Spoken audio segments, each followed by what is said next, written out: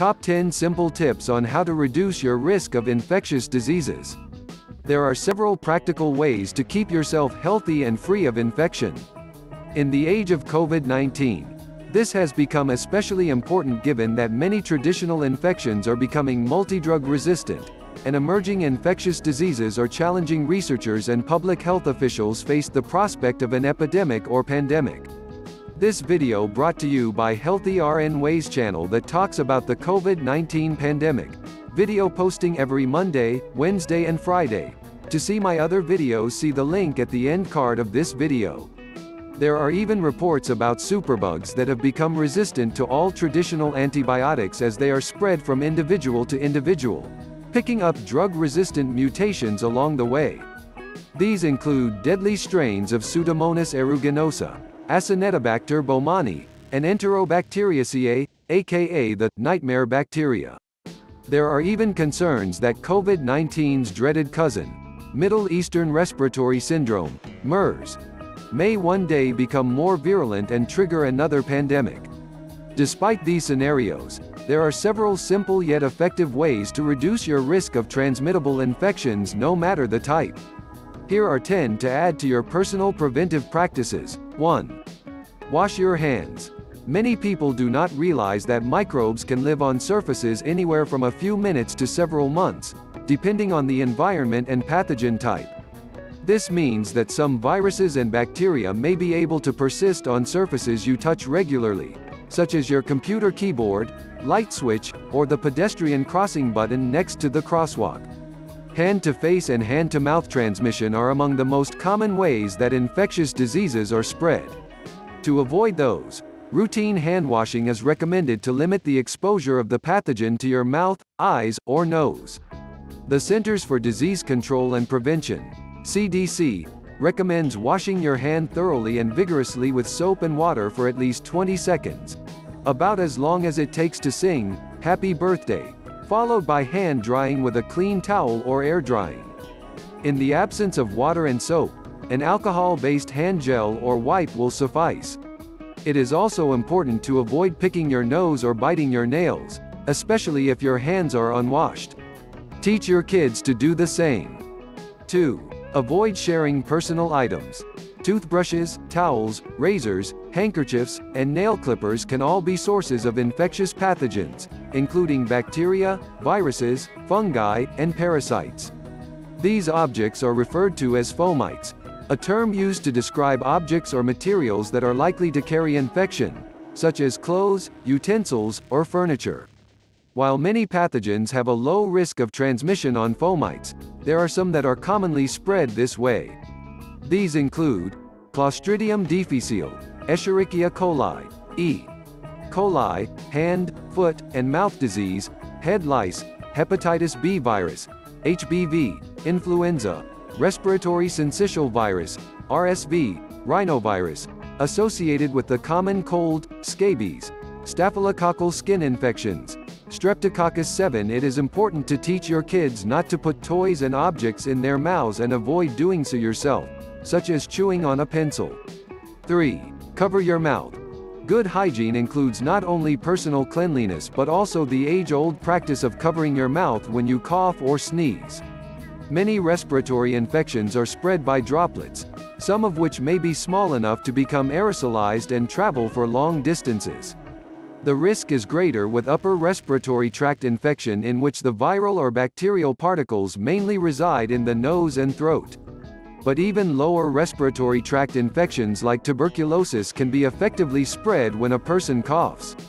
To prevent the spread of respiratory infections, the CDC recommend that you cover your mouth with your arm, sleeve, or the crook of the elbow rather than using your bare hands. 4. Get vaccinated. Your immune system is designed to have a memory of previous infections, enabling a rapid response in the form of antibodies, B cells, and T cells, should the pathogen ever return. Vaccination does more or less the same thing, exposing the body to a weakened or killed form of the pathogen so that the same defensive cells are produced. Getting the immunizations you need will protect you and those around you from infection and illness. There are not only a recommend schedule for children but also a list of recommended vaccines and booster shots for adults, including the annual flu shot. Vaccines Doctor Discussion Guide 5. Wear a face mask. Face masks have become a part of people's everyday lives with the onset of the COVID-19 pandemic.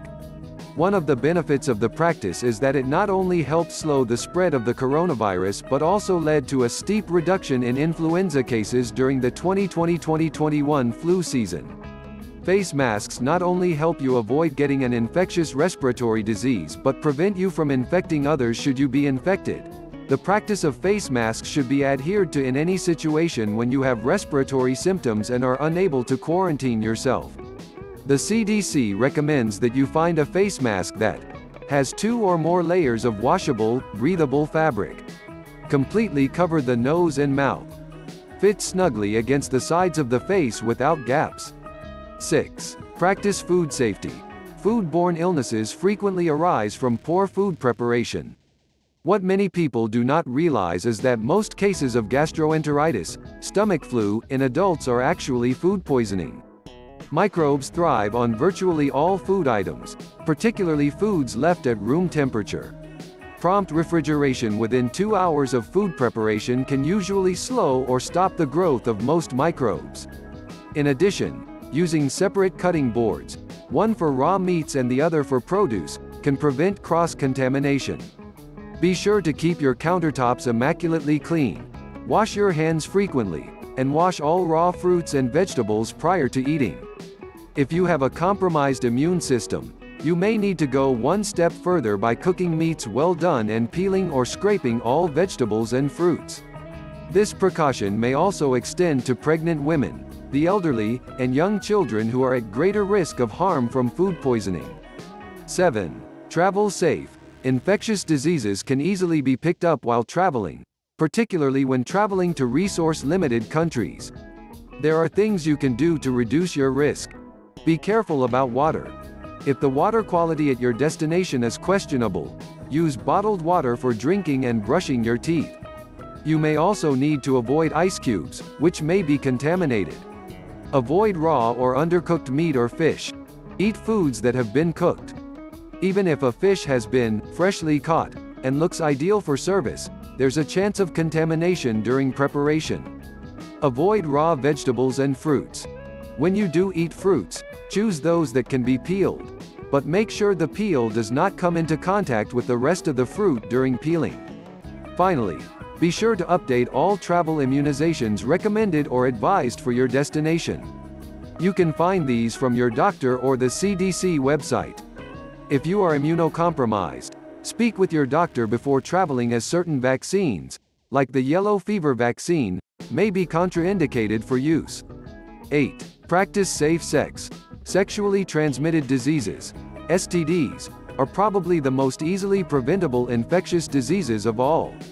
By using condoms consistently and limiting your number of sex partners, you can greatly reduce your risk of infection, or infecting others. In addition to these safer sex practices, there is a drug therapy called pre-exposure prophylaxis, PrEP, that can reduce your risk of getting HIV by around 90%. STDs and pregnancy are not the only problems associated with unprotected sex. It is thought that about 16% of cancers are related to viral infections, including sexually transmitted ones like human papillomavirus, HPV. 9. Avoid animal-borne diseases. Infections that can spread from animals to people, called zoonotic diseases, are more common than people realize. If you have pets, make sure they get regular checkups and that their vaccinations are up to date. Clean litter boxes frequently, and keep small children away from animal feces. If you are pregnant or immunocompromised, have someone else take care of the litter box as cat feces are often the source of toxoplasmosis and cytomegalovirus, CMV. Wild animals also pose risks, including rabies, bird flu, and flea or tick-borne illness like Lyme disease. To better prevent these, make your home unfriendly to rodents by eliminating areas where they could hide or build nests. Use animal-proof trash cans to avoid attracting wildlife, and teach small children that wild animals should never be approached or touched. 10. Take care in hospitals. Hospital-acquired infections, known as nosocomial infections, are a significant cause of illness and death in the United States and around the world because they house people with numerous diseases and infections.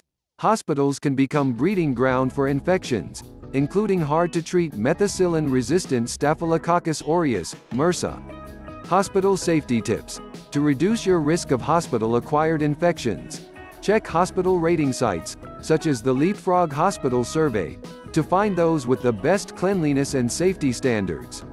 See if you can get a private room. Bring antiseptic wipes or hand wash, or ask the hospital to provide them for you. Bring a germ filtering mask if you are in a semi-private room or ward. Never go barefoot in the hospital. These preventive practices should extend to outpatient facilities as well, particularly if you may be immune suppressed. This includes chemotherapy infusion centers and dialysis centers. Keeping up with current events can help you to make wise decisions about traveling or preventing illnesses at home. The CDC not only issues up-to-the-minute travel notices about outbreaks and other health concerns, both domestic and international, but issues also advisory about foodborne outbreaks. Please like, share and subscribe to my channel. Thank you for watching. See you on my next videos, Ma Salama.